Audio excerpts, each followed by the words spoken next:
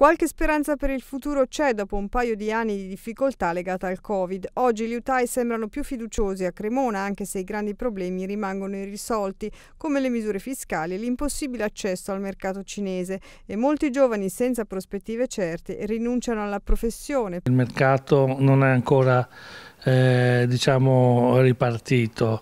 Ci sono delle avvisaglie, delle possibilità di, di ripartenza eh, il momento è ancora distante, il mercato orientale praticamente è inesistente e è inutile negare che la luteria di Cremona ha avuto un boom in questi ultimi 30 anni proprio perché il mercato orientale si era rivolto alla città di Cremona e luteria di Cremona per eh, l'acquisto degli strumenti eh, nuovi.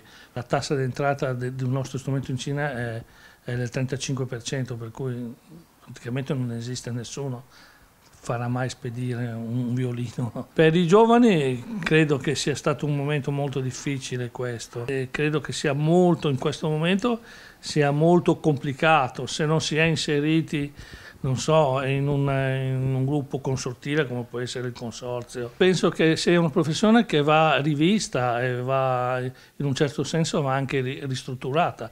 Si è dilatata troppo, il mercato de, degli ultimi vent'anni ha permesso questo. È chiaro che al primo momento di crisi c'è stata una contrazione violentissima. CNA chiede da tempo che gli strumenti musicali, in quanto legati alla cultura, possano beneficiare di un'IVA inferiore sui prezzi degli strumenti, infatti la misura incide in modo pesante. Stiamo cercando eh, di riuscire a far abbassare l'IVA per gli strumenti musicali perché se la musica viene considerata evento culturale e facente cultura e l'IVA per la, la cultura, libri e, manifestazioni similari è il 4%.